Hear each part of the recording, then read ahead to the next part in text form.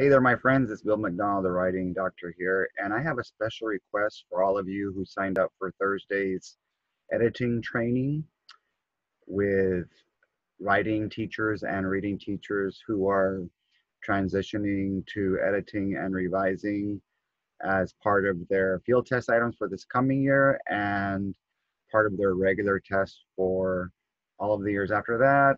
And uh, anybody from kinder to third grade who wants to support grammar and conventions because that's where it all begins.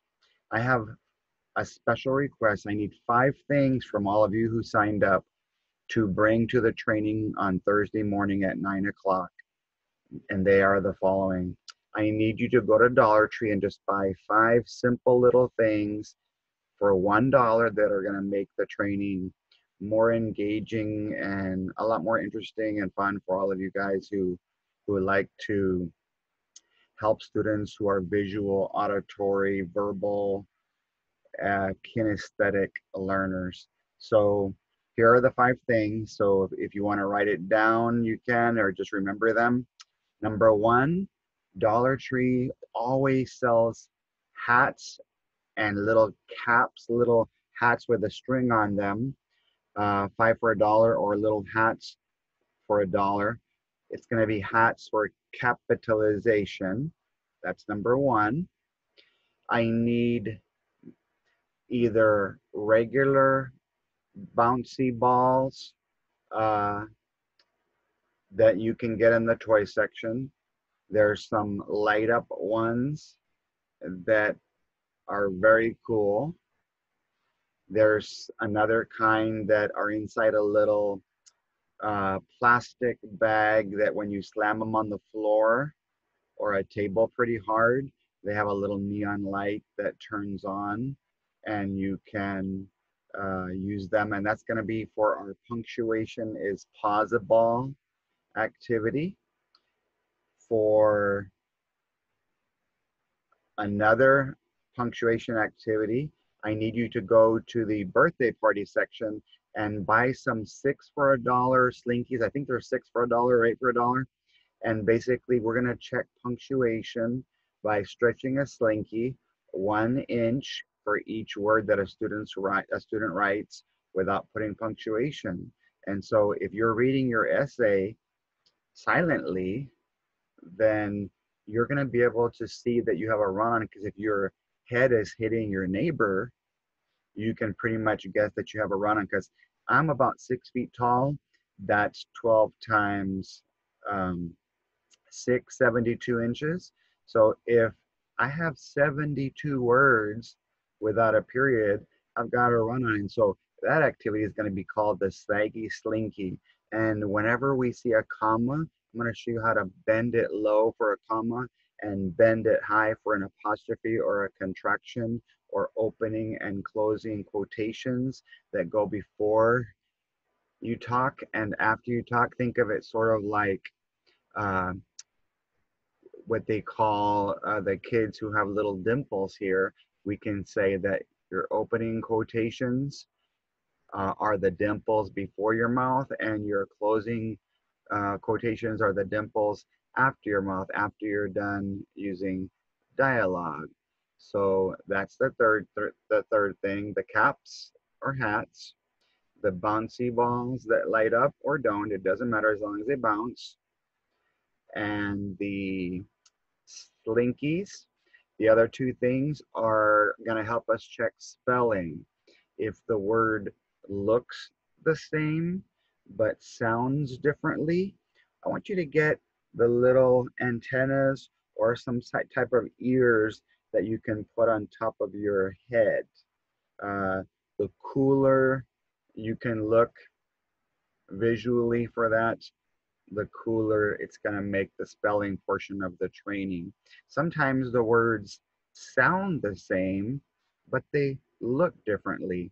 And so the last thing, the fifth thing I want you to buy is in usually towards the front of the store, they have all these different types of glasses. And kids are going to have to be good looking like us, but more importantly, they're going to have to be good at looking at spelling words. They can take a picture to see how the word looks the same or looks differently, or record videos so they can say the word softly or loudly, which we'll learn with cups with two P's and two S's. If you're doing cups with one P and one S, you're missing out on a lot of opportunities to help your kids who really need cups with two P's and two S's. And I'll show you all of that in the editing training on Thursday.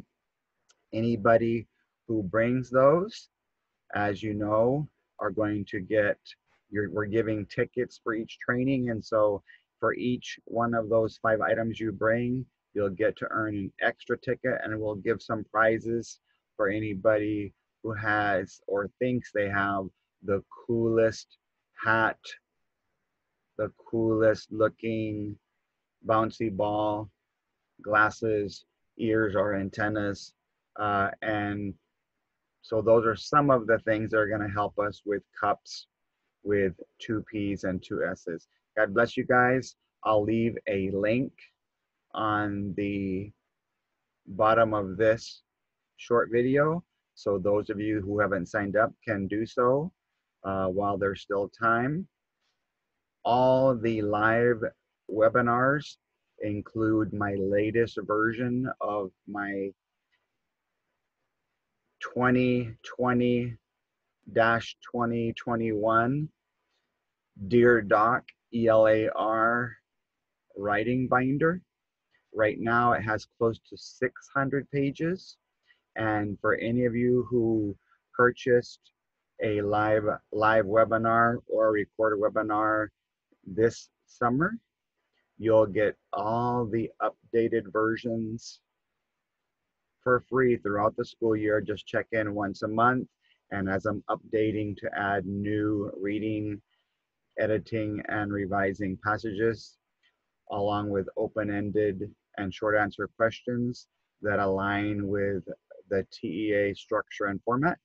I'll be putting those in the binder. So by the time the school ends this coming year, your binder's gonna have close to 700 or 800 pages in it uh, to make sure that we can adapt to this new ELAR world. So God bless you guys. Hopefully we'll see most of you in the live version. Don't forget that if you can't attend the live version, you're always welcome to attend, uh, just purchase the webinar and you'll be receiving an email link of the recorded version once it's up and ready, along with all the PDF files that come with the training. You'll get the same benefits of everyone who attends the live version, except for not being able to see uh, in person or right there on your camera what everybody else is wearing. So don't forget those five things, everybody. A reminder, a hat or a cap, either from the Dollar Tree or something that you might already have from somewhere. Any kind of hat or cap will do. A regular bouncy ball or a light up one. A slinky of any type. A set of ears or antennas from Dollar Tree or somewhere, or a set of cool looking glasses.